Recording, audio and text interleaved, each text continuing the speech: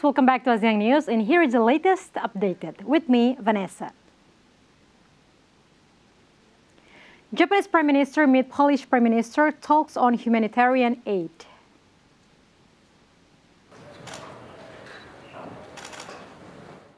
Polish Prime Minister Mateusz Morawiecki welcomed the Japanese Foreign Minister Yoshimasa Hayashi in Warsaw. The Japanese government has announced it will bring in Ukrainian refugees from Poland to Japan with a government plane leaving later.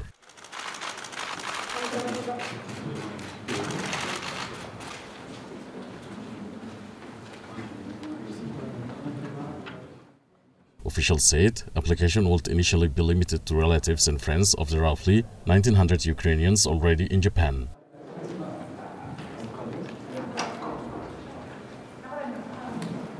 Austin welcomes Singapore's Prime Minister to the Pentagon.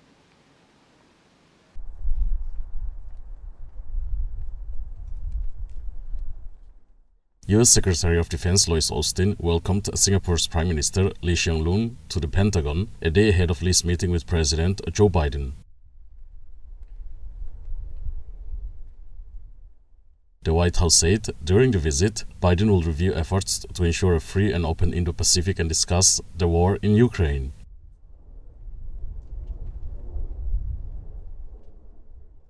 And add more to that, Biden looked forward to deepening cooperation on issues including upholding freedom of the seas, supply chains resiliency, the crisis in Myanmar, and fighting climate change.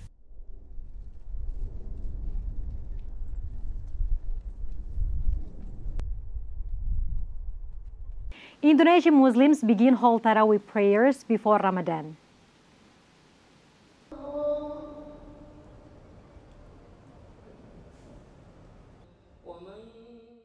Beginning of Ramadan, Indonesian Muslims gathered for Tarawih prayers at the Grand Mosque of Istiqlal in Indonesia, capital of Jakarta.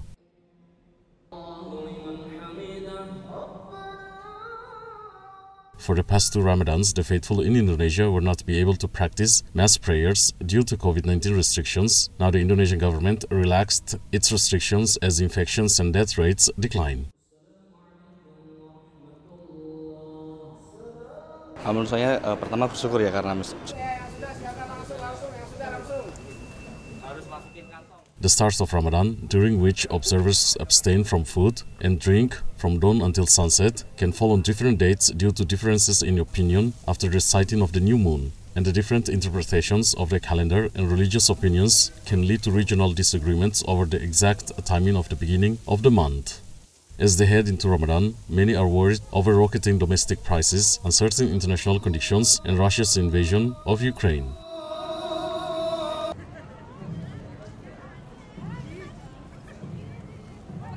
South Korea Han Duck-soo tapped to return as prime minister.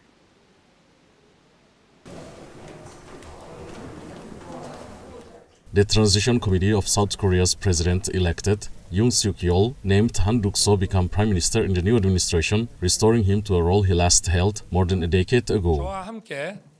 새 정부의 내각을 이끌어갈 국무총리 the 72 year old Han has expertise in economy, trade, and public affairs and was prime minister during the Roh Moo Hyun administration. He spent more than 40 years in the public sector, including the Customs Agency, Trade Ministry, and Finance Ministry.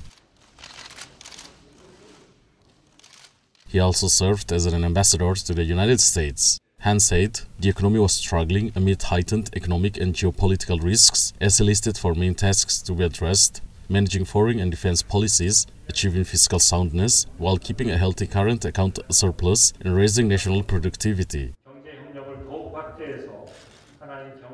The Prime Minister in South Korea, unlike some others, is appointed by the President rather than being elected and must be approved by Parliament.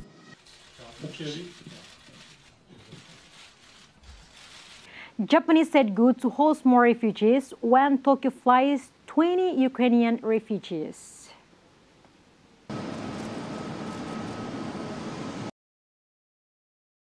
Japan flew in 20 Ukrainian refugees to Tokyo in high-profile show of support for the international efforts to help Ukraine, a rare step by a country that has long been reluctant to take in foreigners. During a trip to Poland, the 20 refugees, age ranging from 6 to 66 years old, were seen arriving at Tokyo International Airport on a special government plane that was arranged by Japan's foreign minister.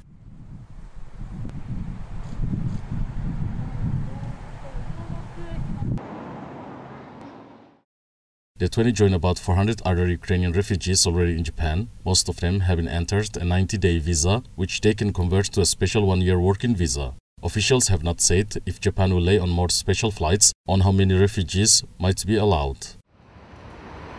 しては基本的にはね大賛成ですね。 Japanese resident Hironori Murakami said he strongly supports the government gesture and hope that Japan will open its doors to more refugees from Ukraine.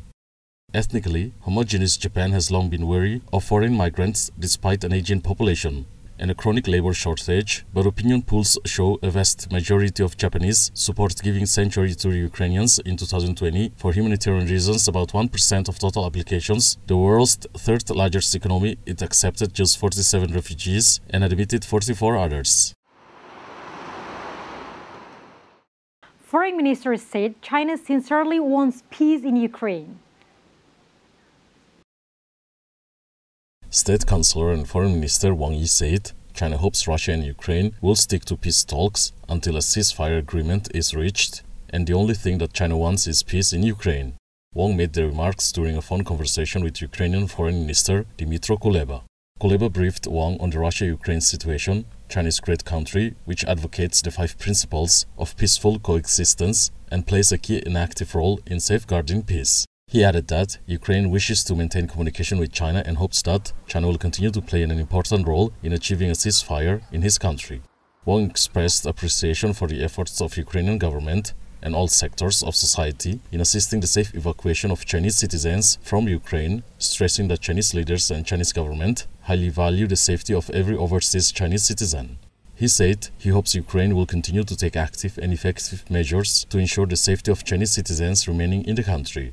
Noting China's stance on Ukraine issue as promoting dialogue and peace talks, and Wang said Chinese President Xi Jinping has comprehensively expounded China's position on multiple occasions, which serves as an important guidance to address the current challenges. It is China's historical and cultural tradition, as well as its consistent foreign policy, to safeguard peace and oppose war. On the Ukrainian issue, China does not seek geopolitical interest, nor will it watch the event from a safe distance while sitting idle or add fuel to the fire. China welcomes peace talks between Russia and Ukraine, adding more that, no matter how difficult the talks would be and what differences they would have, the general direction of peace talks should be held until a ceasefire and eventual peace are achieved. China believes that the principle of indivisible security should be adhered to and a balanced, effective and sustainable European security should be built upon dialogue on an equal footing. On its objective and impartial position, China is willing to continue to play a constructive role in its own way. Kuleba said he agrees with China's views and expressed appreciation for China humanitarian assistance. He said Ukraine is dedicated to peace talks with Russia to find a lasting solution and the country is willing to become the gate of Europe. Wang said he hopes this gate will lead to peace in Europe, development in Ukraine, and cooperation between China and Europe. And that's the wrap up for today. Stay safe, stay healthy, and have a nice weekend.